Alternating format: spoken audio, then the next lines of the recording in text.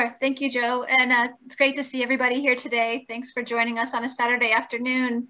So um, UNAC is part of the Sanctions Kill Coalition, which formed at the end of 2019.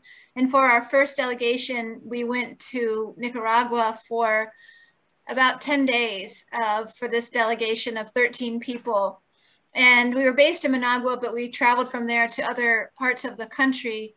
And uh, we wanted to really see what, you know, what a country looks like early on in the time of uh, being you know, targeted by economic warfare and what work they've been doing to try to protect themselves from the impacts of this economic war. And so um, we started with a few days of lectures to learn about the Sandinista revolution, their work to create food sovereignty, as this was actually done in tandem with the Friends of the ATC. The ATC is the Rural Workers Movement, uh, which has been both the Sandinista Front and the ATC are key players in the revolution uh, of 1979, which was then, of course, followed by the Contra War under Reagan in the 80s, and then uh, from 1990 to 2006, the neoliberal period where they uh, had elected presidents who were neoliberal. And then in 2006, Daniel Ortega uh, became president and has remained so and is facing a reelection in uh, November of this year. Um, so we uh, traveled to the, uh, we split up, half of us went into the mountain communities to learn about their farming of cocoa and bananas and coffee. And uh, the other half went to um, more of the central part of the country um, where they're growing dragon fruit and um, things like that.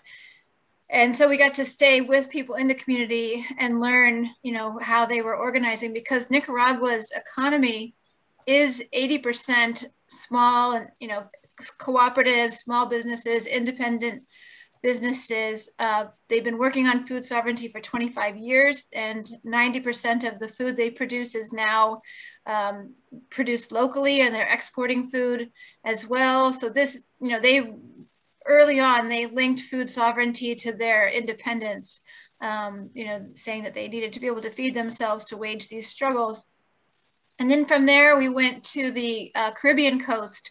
About 47% of the country is the autonomous region, and this is where uh, mainly indigenous and Afro-Nicaraguan communities live and they have uh, through a period of 10 years of negotiation have come to agreements where those entities that wanted to have title of their land were given the title. They have their own governance structure and systems that interact with the nicaraguan government but they have this autonomy they have a whole series of universities connected to these. They're doing a lot of work um, to you know, study the uh, kind of ancestral knowledge that they have in the country and record that. Um, but they also do a lot of work of linking that with you know current science and finding best practices. So just really interesting. They also have worked uh, since the election of Daniel Ortega to electrify the country and get water to the communities. So about, I think it's more than 95% of the country has access now to electricity. The vast majority of that, more than 75%, is renewable. They have a lot of geothermal because it's a country of uh, volcanoes. Um, so, and they've been improving their roads over the last few years. So they now have um, brand new highways linking much of the country so that travel time is much shorter than it used to be. They're very proud of that. Um, it allows them to get their goods to the various markets. So they've just put a tremendous amount of it, uh, investment into infrastructure as well as education is a very high priority, empowerment of youth and women. They have a lot of structure in place uh, to build youth leaders, women leaders. They have requirements in their constitution about making sure that they have uh, women in power and political positions, for instance, for the executive office, uh, there has to, one of the, you know, president or vice president, one of them needs to be a woman. Um, so that's, you know, it's just a very much a part of, of their fabric. So it was great for us to see that. And in terms of the sanctions, uh, it is already impacting their ability to get foreign aid and to get investment into the country. There's still a lot more work that they would like to do.